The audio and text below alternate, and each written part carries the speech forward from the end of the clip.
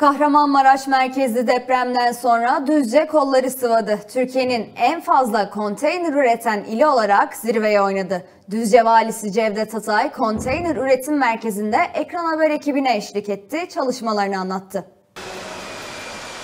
Bir an olsun durmadılar. Üretim tesislerinde depremzedelerin yaralarını sarmak için çalıştılar. Yüzlerce konteyner üretip bölgeye gönderdiler. Yani büyük çoğunlukla yaşam konteyneri yapıyoruz. Türkiye'nin en fazla konteyner üreten iliyiz şu an.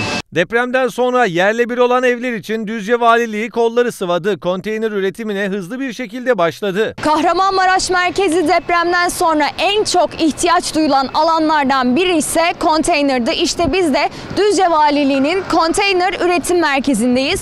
Burada üretilen konteynerler depremzedelere ulaşmak için sabırsızlıkla bekliyor.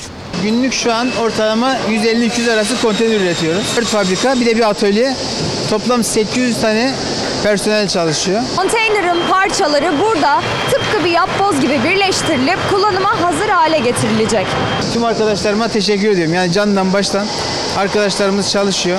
Ekiplerimiz çok güzel bir şekilde çalışıyor. Dükkan, ev, ofis, çeşit çeşit barınma alanları oluşturuldu. Engelli vatandaşlar da unutulmadı. Engelli vatandaşlarımızın kullanabileceği engelli konteynerler yapıyoruz. Onun yanında dükkan konteynerlarımız var. Bizi arıyorlar. Ya konteynerlarınız çok güzel Allah razı olsun dedikleri zaman bu bizler için çok kıvanç kaynağı oluyor. Düzce'den gönderilen bu konteynerlar depremzedelerin sıcak yuvası olmaya devam ediyor.